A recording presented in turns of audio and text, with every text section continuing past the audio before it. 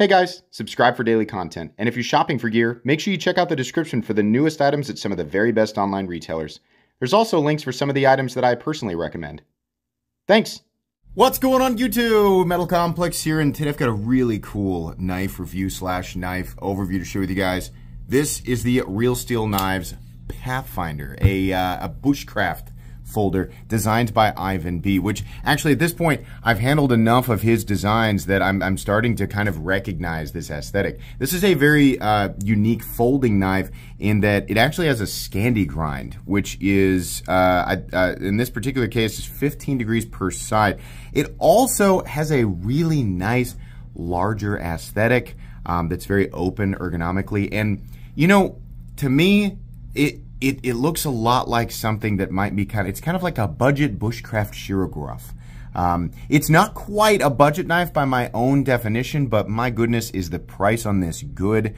Uh, it's it's such an interesting knife, uh, and I, I, honestly can't wait to talk about it with you guys. I will link it down below. It's available in a few different configurations, um, so you can check that out if you want to. It does help my channel when you use those links, but that's entirely up to you. Thanks to my patrons for supporting me. Thanks to Real Steel for sending this in for review, and thanks, uh, or make sure to follow me on Instagram at metal underscore complex. You'd think I'd have that intro down. I still mess it up. Let's go ahead and measure this. It's not a small knife.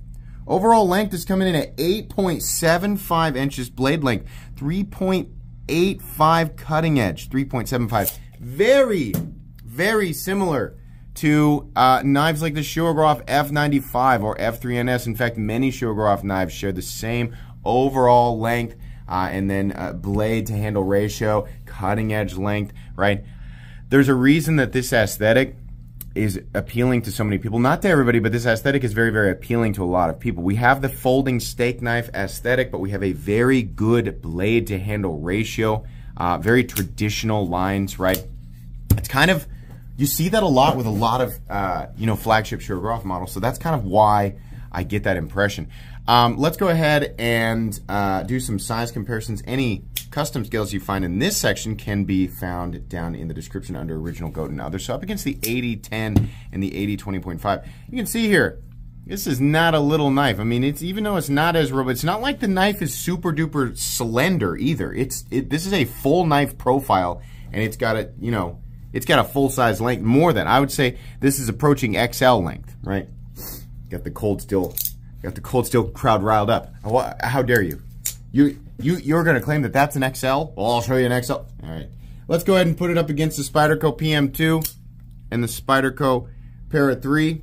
Uh, definitely larger than both. Way more cutting edge as well. Which, funny enough, almost exactly the same handle length as the PM2. Uh, and then finally, let's put it up against the Benchmade Group Tilliner, in this case, the Ritter Hogue and the Hogue Deka. Alrighty. How's the action? This is a crossbar lock, and I forget what Real Steel calls theirs. I'm going to be honest with you. I don't really think it matters what all these companies are calling their own crossbar locks. Their crossbar locks. Uh, I, I, call. I mean, I, I'm used to Benchmade's original Axis lock, and the, yeah, the patent ended, so they are legally allowed to do this. Um, but everybody has their own name, right? I don't know what it is. It works great though. Tension is about medium. Uh, you'll notice that this knife is not readily falling shut, but it is still, you know, you can still easily whip it shut.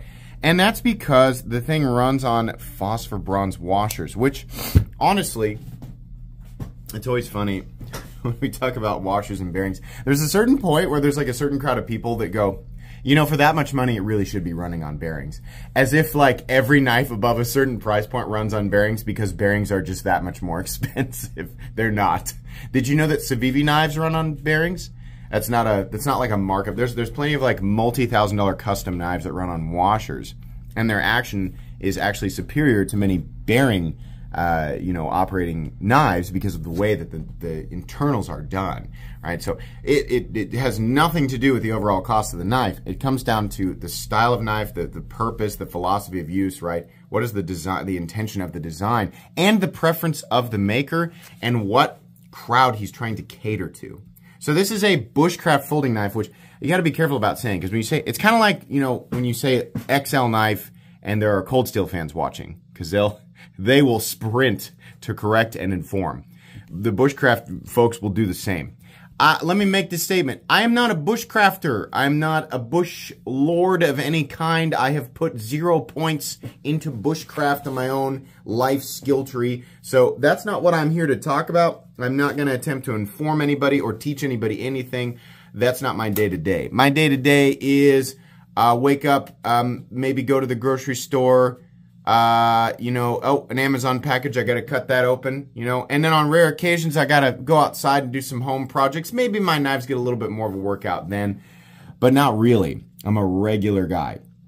So, um, the advantages here on a folding knife in the world of bushcraft, my guess is for most bushcrafty stuff, you're gonna want a fixed blade. I honestly don't really care about that. Um, I just find it interesting that we have a Scandi grind on a folding knife. But I do like the idea of a locking system being, you know, like this. This is a stronger locking system on a folder that's clearly meant for more outdoorsy stuff. And they, they put the cherry on top combined with the grind, which is really nice. It's very thin behind the edge. The cherry on top is we have a pivot system that keeps debris out of the pivot, which is might be a problem, you know, if you use a, knife outdoors a lot. The the phosphor bronze washers will absolutely do a better job of keeping debris out of the pivot versus bearings. Um, so I think that's kind of neat that they really did, you know, kind of the four corners of, you know, more of an outdoorsy folding knife. Will it do better than a fixed blade? Probably not, right? But I imagine that discussion will happen down in the comments one way or another. The action is good.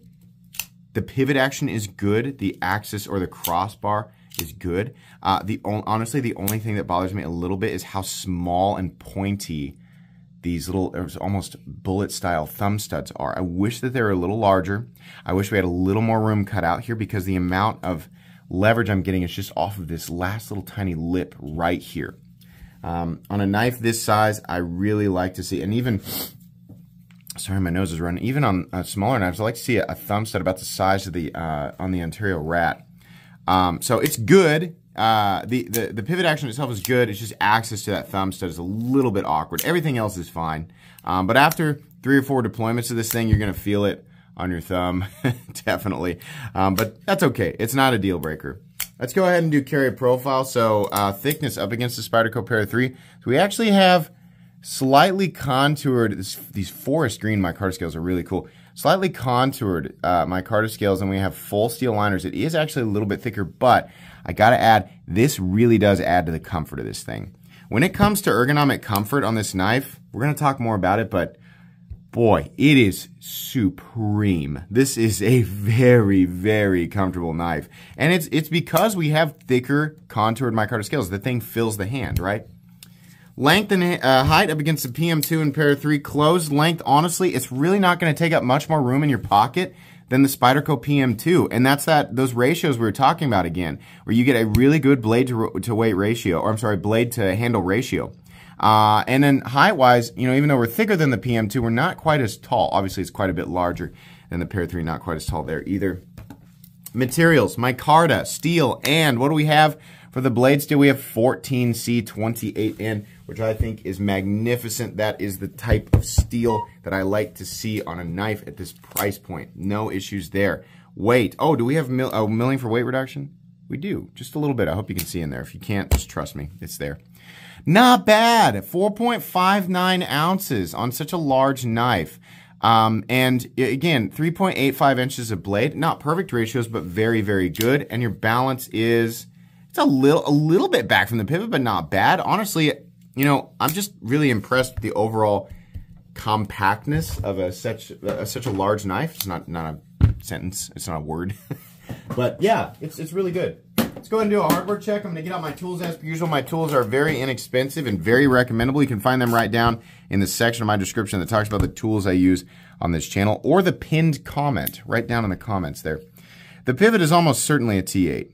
And it is. And it's just on one side, so that's awesome. Now, we don't have any uh, uh, hardware showing except for the hardware that's meant for the pocket clip, and that's really nice. This looks good, but you will almost certainly have screws underneath here holding um, the liners together. But it's, it's neat how they did this. It really does look good. And look at this. Look how the pocket clip slips in behind the scales. So the only thing you have to look at on the scales itself are the two holes for the screws that are required to hold the clip in. This is a really nice way of doing this. I love this. I wish more companies would do it.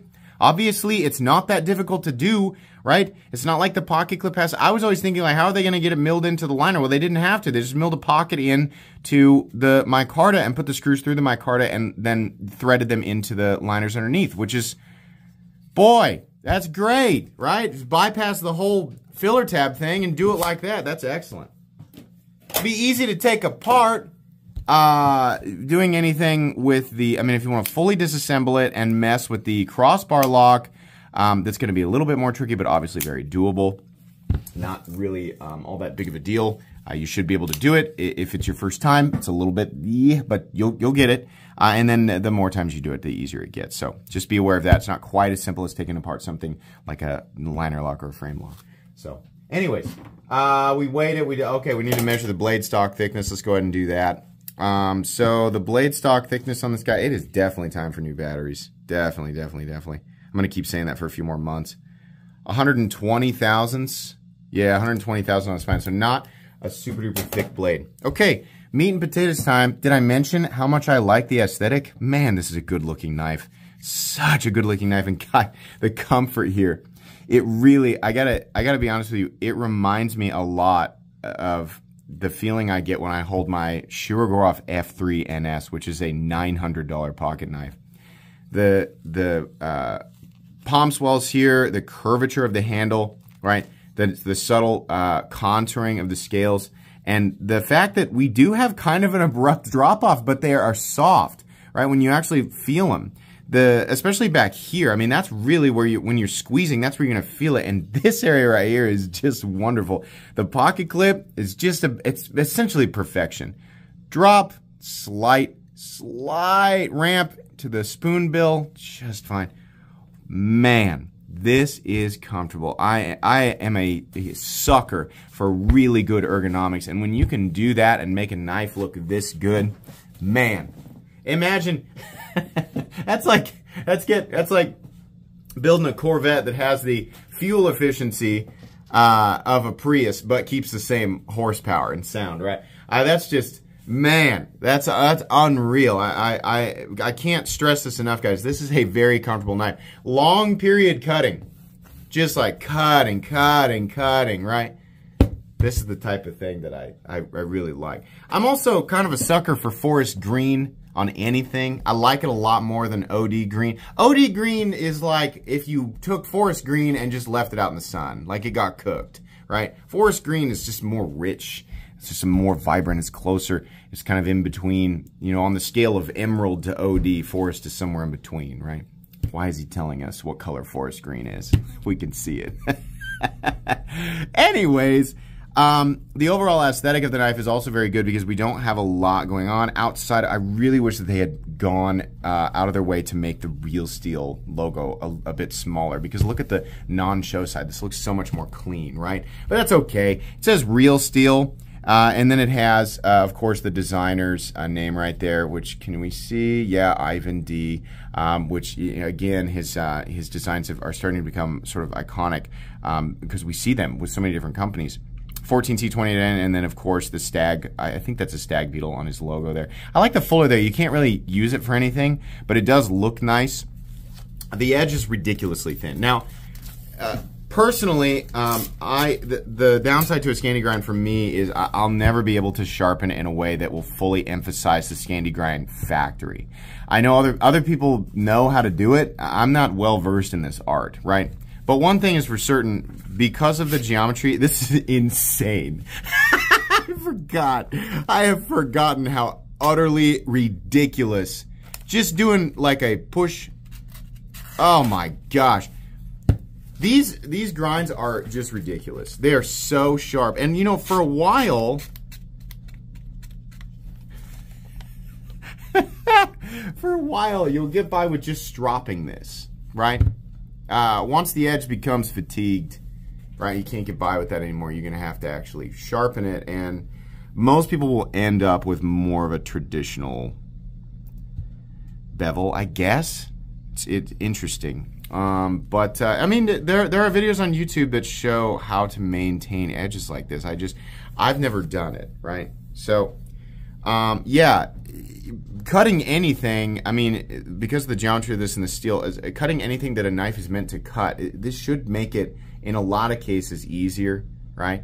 Um, you're still working with the geometry of the blade though, so I guess it really does depend on what you're cutting. But one, one thing is for sure, here's what I'm gonna say. Instead, you know, all, all I'm doing is just lighting a bunch of fuses that lead to, you know, powder kegs around like all the level 100 bush lords. Um, I, uh, I, I don't know exactly what this is going to be proficient at, except for like when you're doing generic slicing tasks and cutting tasks, the geometry and the final apex of this knife will at least until it starts to dull, it will make things wonderfully simple. Uh, this thing will glide. It will melt the material that you're cutting. These grinds are insane. Um, really cool edge up here, knocked down, right? Not great if you like to strike flint off of your folding knife. Great if you don't do that and you don't care and you just don't like to touch a sharper, you know, super sharp edge like the one out here. You can see that one out there is much sharper, right? So if you can get your flint clear out here, and yeah, it'll work. We got kind of a two-tone, like a belt satin finish, then we got like a tumbled finish here. Looks good. Um, that's pretty much it. There's really not a whole lot to talk about with the blade. I mean, it's going to do what you want it to do. It is a long, Scandi grind, you know, drop point blade. Really nice. Um, let's move on here. There is a lanyard hole, great. Uh, there's a super long backspacer, which sometimes I like how it looks and sometimes I don't. I gotta be honest, I kind of like how this looks. They've also, it's the, the backspacer itself is radiused. So you can see there, it's actually like, it's got, it's, it's crowned, which is cool. Pocket clip, like I said, very, very good. Uh, and it is reversible. Lefties, you'll love this just as much as a right-handed person because it is an ambidextrous locking system, so that's really cool. The only difference is what you see on the show side of your knife, right? Lockout completely and totally solid. There is no blade play up, down, left, or right on this thing. Um, not generally a locking system you have to worry about. You have to be, you have to really not know what you're doing um, to make a crossbar lock knife not work. This is a very good locking system. No blade play up, down, left, or right. Very smooth and consistent in here. And then we have your typical sort of event horizon detent. I mean, it is the detent, right? It's being created by the curvage, uh, the, the curved, um, you know, the rounded tang of the blade uh, reaching an event horizon against the crossbar lock and then snapping into place. How much is this beautiful knife? Um, this beautiful knife is $79, which I'm going to be honest with you, I, I, I really wish that it would just, I, I was like, please come in at $74.99 so I can call it a budget knife, right? What it, does it really matter what if I label this as budget knife or not? I mean, here, here's let me let me um, try and rise above that here real quick and just say I think the value here is is is here. It's present, right? Whether somebody like me labels it as a budget knife or not, seventy nine dollars is a good price for this. I'm happy with that. Um, I think that they would be very smart to make a shorter version of this. Make a version of it that's about seven and a half inches long for people who like it but just want to carry a smaller knife, right? Um, yeah, I know, uh, putting a Scandi grind on a folding knife, you're never going to realize the maximum potential of a knife like this, and it's not necessarily going to be the ideal, the most utilitarian, the most optimized tool for the bush. the bush. Um, I, I know, but this is a group that's easy to poke at because they, they get a little, they, they get a little riled up. Um, but yeah, no, it's it's cool though. It's it's fun. There's, I mean, like if we're gonna if we're gonna talk about like you know not being able to like min max the benefits of a Scandi grind and a folding knife, like holy crap, have you been anywhere else in the knife world? Like this is this is the tip of the iceberg in terms of things that are you know useless or not fully realized because they are taking place or being implemented on a folding knife. Like dear lord, let me show you half of my collection. Right? There's there's tons of stuff out there like this. This is just interesting huge fan of Ivan uh, D designs. I keep wanting to say, sometimes I say Ivan D, sometimes I say Ivan B because it's Ivan D and then his last name begins with a B. But Ivan's designs are very, very good looking. This is really cool. If you decide to pick this knife up, you will really like it. I think this thing is kind of flying under the radar, and you guys are probably seeing this in 2024. I've had this. Um, you know, for a, a, couple of months now. I should have reviewed it sooner, but yeah, um, don't uh, don't overlook this. This is a beautiful knife. It's made very very well. It is made in China, by the way, but it's Real Steel. You guys probably knew that, um, but just just awesome stuff. So. Very recommendable knife. This is going to go on my most recommended knives playlist. Thanks to Real Steel for sending it in. Please make sure to follow me on Instagram at metal underscore complex. If you enjoyed this video, leave a like. If you'd like to check out my other content, I do, of course, have lots of videos of knives that are either expensive or inexpensive that I do or don't like, so check those out. And if you enjoy all my content, go ahead and click on that Metal Complex logo right there and subscribe because there's definitely more coming. Thanks again for watching, everybody, and have a great day.